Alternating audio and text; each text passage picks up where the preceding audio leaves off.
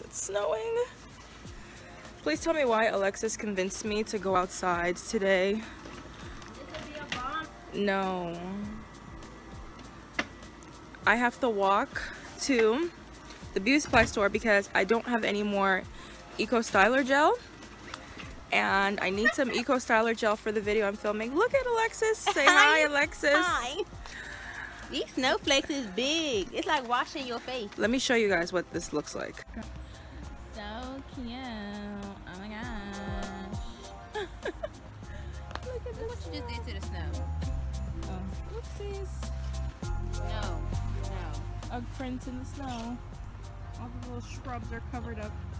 So, like I said, we are heading to where are we going again? I don't remember what I said. Yeah, we're going to the beauty supply store. You got on gloves? No, I don't have gloves. I'm about to put my phone back away. Oh my god.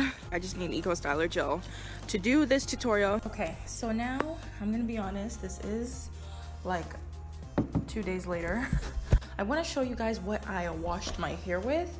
So I used the Maui Moisture Heal and Hydrate Shea Butter shampoo for dry damaged hair. It's got shea butter, coconut oil, and macadamia oil in it. And then I went in and detangled my hair using the L'Oreal Hair Experts Total Repair Conditioner.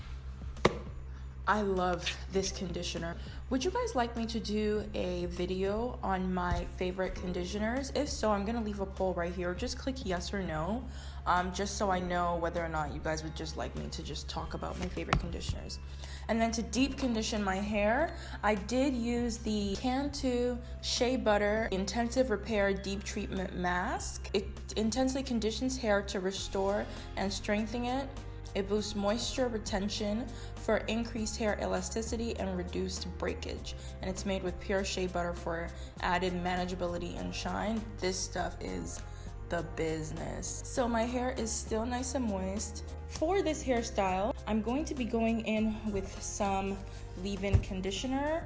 I'm going to be going in with the Cantu Shea Butter leave-in repair conditioner. As my styler, I'm going to be going in, I recently added this to my routine about four or five months ago, the Taliah Waajid Curly Curl Cream. This stuff, it really defines your hair and gets rid of any frizz. It gives you nice definition, nice hold without any crunch. And then we're also going to be going in with the Eco Styler gel. This was the main reason why I didn't film this video earlier enough because I wanted to get this gel. The Argan Oil formula. This gel is alcohol free, so it's good for your hair and it says it causes no flakes. So I kind of want to see what my hair will look like with this. I also have a Denman brush. I have a detangling brush, which I did use to detangle and arrange my strands when I had washed my hair. I have a few clips here that we may go in and use. As well, my oil for today is going to be the Wild Growth Hair Oil. I just love it because it's nice and thick and it's got a lot of great oils in here. I'm so nervous. Since I've been natural, I haven't been very experimental with my hairstyles. I kind of just stick to what I know works. Uh, a puff will work for me. It looks nice, it's easy, and it's low maintenance, it's out of my way. Or a low bun will work because I can keep it long term throughout the week. And then occasionally I wear my hair in a fro. And then I try, like, you know, then I became a little more experimental and I started doing twist outs and stuff. But I haven't gotten the, I don't think I've gotten the hang down completely. I think last week I finally figured out the right combination and that's when I realized, oh my god, this whole time I've been saying my hair is 4C, but I don't think it it may not actually be 4C like my curl pattern. So, we're gonna find out in this video what my curl pattern really looks like in a wash and go. So let's get started. So this is what we're working with right now. These are my little curlies. I'm going to be pinning down my roots to kind of stretch the curls. So I'm just taking some duckbill clips. I think that's what these are called. Here, I'm just gonna attach another clip, kind of more as just weight, making sure that my ends, I'm detangling them nicely with my fingers. My hair is still nice and moist, which is great.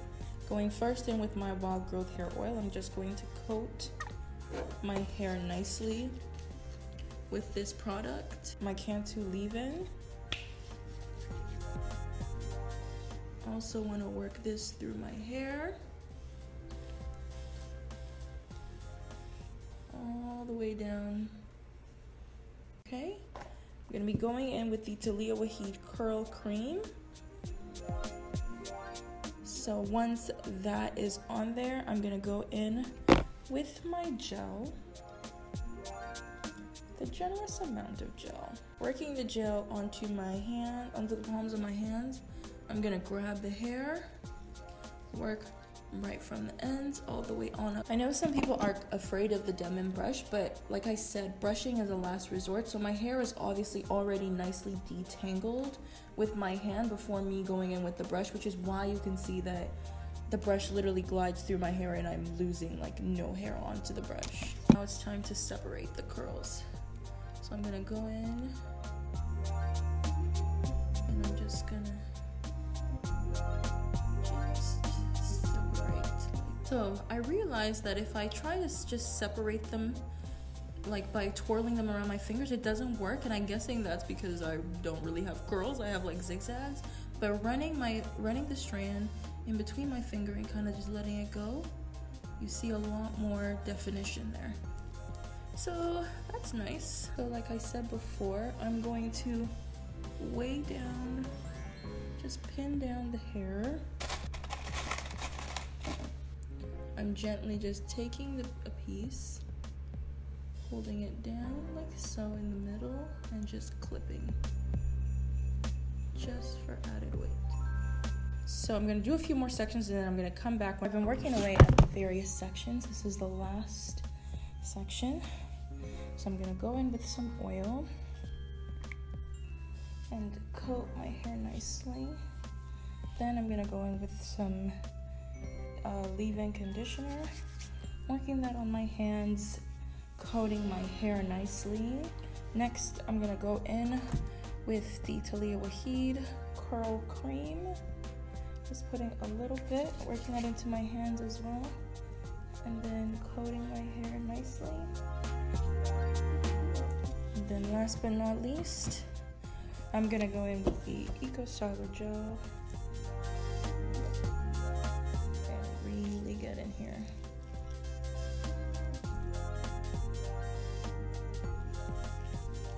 Going in with my Denman, I'm just going to just brush my hair.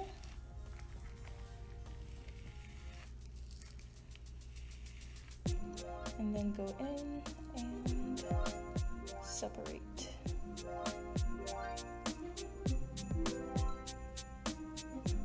So one thing I noticed about my curl pattern as I was going through my head is that my curls are a lot looser and there's a lot less frizz at the back of my hair and then right at the very top of the very crown of my head and at the front I do have um, a tighter curl pattern and there's definitely more frizz in terms of the way my strands are arranged.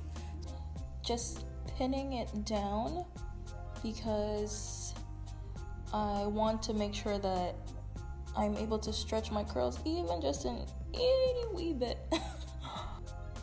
and I'm not tugging on the hair section anymore.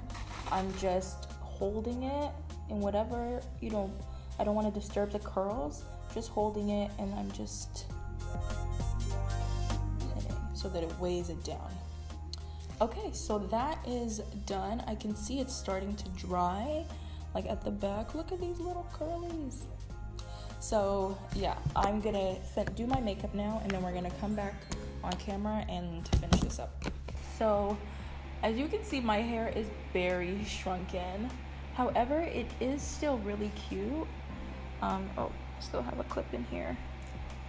I do think that my curls are so defined. Like, they look really great. They look really great, and I'm not usually used to wearing my hair this shrunken. Um, well, damn, I have a lot of clips in my hair. Thought I was done. You can see all, all of this definition here. And this part is already dry here. This part is still a little wet, but all of this is dry and this is what my texture looks like. Hey guys, so I kind of just wanted to show you guys what my hair does look like on day two. It is, it's very chic. I think I prefer it this way, like the way it looks right now in terms of the shape um, versus day one. One thing I will say with the washing is, I think because I'm not used to like stretching my hair, like the process of stretching it, um, I haven't gotten news like I know there's different methods in terms of stretching like banding and that sort but I'm not yet used to that so I haven't tried it out. I just used a pick to kind of just go in there. And you can see there's still lots of lots of texture. It hasn't really you know my roots have loosened up a bit because I went in with um, a comb but this is still what we are working with I'm not used to my hair being this shrunken, but it is still cute. It's, a, it's an alright style. I think I would try it again. Yeah. cute. I look so chic, don't I? I look like a book author. Is the final look we're working with for today. If you guys would like to see any other hair tutorials, do let me know. I don't mind trying things out. As I said, I'm trying to experiment a little more.